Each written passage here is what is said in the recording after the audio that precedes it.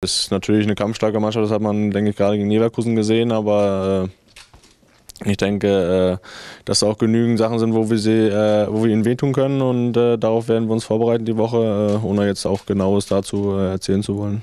Nordderby ist ja an sich schon ein besonderes Spiel, aber jetzt äh, aufgrund dieser Konstellation beide Mannschaften unten drin, äh, Herr Zinnbauer hat schon gesagt, der Rasen muss brennen, äh, Stadion muss wieder zu einer Festung werden. Nochmal ein etwas besondereres Spiel? Ja, Nordderby ist immer besonders, ganz klar, egal äh, wie die Tabellensituation ist. Äh, natürlich äh, ist da eine gewisse Brisanz dadurch nochmal extra drin, aber es gibt für uns auch nur drei Punkte zu holen, die wir unbedingt haben wollen und deswegen werden wir uns gut darauf vorbereiten. Was ist, wenn die ja doch positive Serie von Werder ähm, gegen Hamburg reist? Ähm, wie gehen Sie dann damit um, mit einem eventuellen Rückschlag?